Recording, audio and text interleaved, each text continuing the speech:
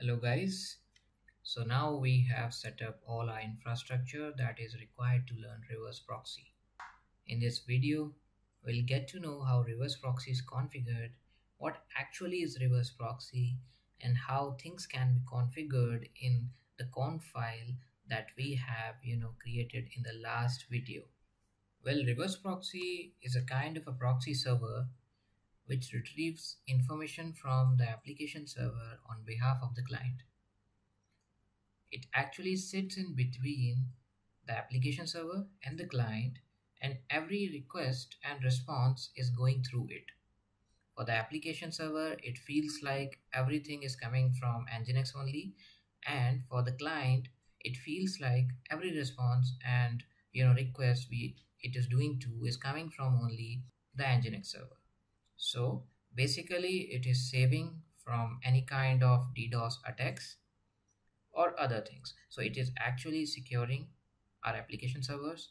We need not to expose our application server to outside world. So let's see how reverse proxy is being configured. So we are now in the Nginx console. Let's go to conf.d directory slash etc slash nginx conf.d.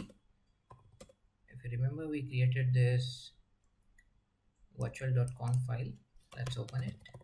So let's delete this server block. Since we have created four apis from the two backend servers so we'll be adding four location blocks here. One for each api so location. Let's say the request is coming in the name as I'll say like it's back backend one backend one and one. That will be good just to remember. Well we are studying reverse proxy so we need not to define any root location here because everything will be proxied to uh, another server.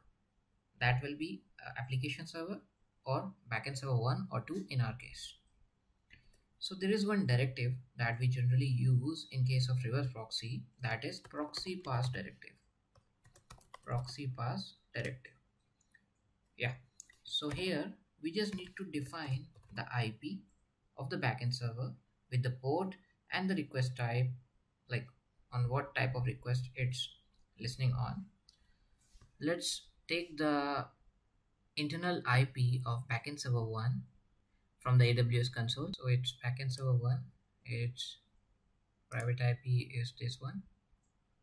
Go back here, just paste it. If you can remember, the API one was running on port 3000 and it and the URI was slash only. Just closing it. Now create another location block for I'll say it like backend 2 sorry it's backend 1 and endpoint 2 we need to remember these URIs as we need to mention in our static page in the anchor tag. Proxy pass http the same internal IP for the backend server 1 if you remember the URI type the URI was slash test so we have defined here for the backend server one. Now we need to define two more location blocks. Backend just use the same proxy pass directive. Now here we need to give internal IP of the backend server 2 well it's this one. Just paste it here give the port number. And the first request was slash only. That's enough. Let's define the fourth location block. Backend 2 endpoint 2 use the same proxy pass directive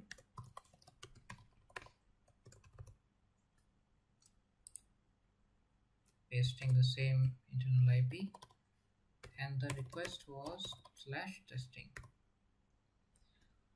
Well here we have added the four location blocks. So let me explain first. So whenever a request is coming on nginx on port 80 whenever the request type is slash it will simply load this static.html page whenever the request is coming as slash backend one and one it will proxy it to this server that's backend server and the request will be made to slash. When it's coming as slash backend one and two then it will proxy it to backend server one as slash test request. And the same here like when it, the request is coming as backend 2 and 1 it will proxy to backend server 2 with the request as slash on port 3000 and when the request is coming as slash backend 2 and 2 it will be proxied to backend server 2 on port 3000 with URI as slash testing. Let's save this file. Check the syntax. sudo nginx minus t. It's successful. It's perfectly working. So we need to go to our static.html. That's in HTML directory. Okay, sudo nano. We need to open the static.html so we need to define the endpoints or you can say in the anchor block so that whenever we are doing any request it should go you know to nginx and then nginx should proxy the request to the desired backend server. So here it goes like we'll give the public ip of nginx server. Let's grab the public ip of nginx server.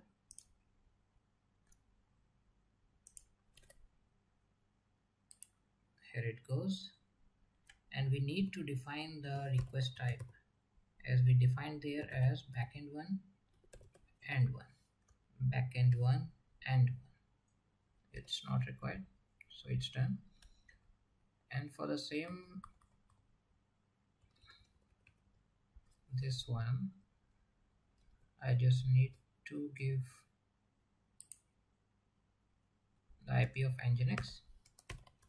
The URI will be backend 1 and 2 the same that we defined in the location blocks of the conf.d directory.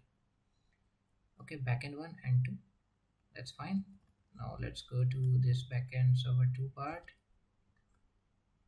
Do the same here for the rest of the two APIs just paste the nginx public IP and 1 do the same here as well for the second API from the backend server 2 it is backend 2 and 2 well that's fine. Just restart the nginx service sudo service nginx restart. It's done. Check the status. It's running perfectly. Take the public IP of Nginx and hit it in the browser. So it's opening this page.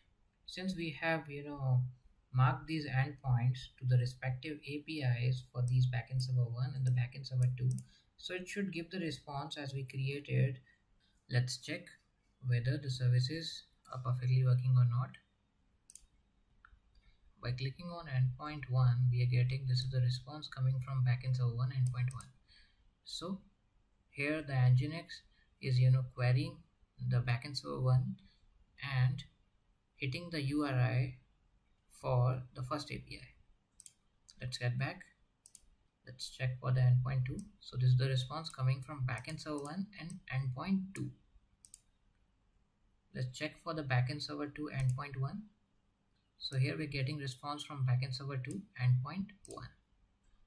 And for the fourth one, that's the appropriate result we get. So here Nginx is perfectly playing the role of reverse proxy. You know, when we are hitting endpoint 1, it's actually the request going to Nginx port 80 with the URI as slash backend 1 and 1 and then proxy pass directive is transferring that request or you can say proxying that request to the application server that's backend server one in our case and we're getting the appropriate response from the backend server one api one and api two and other services. That's it for this reverse proxy lecture. We'll study some more interesting topics in the next video